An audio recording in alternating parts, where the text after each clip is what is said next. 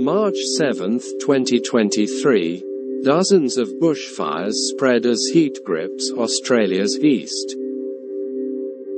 Fire services warn the situation may worsen, with high winds and temperatures forecast to continue.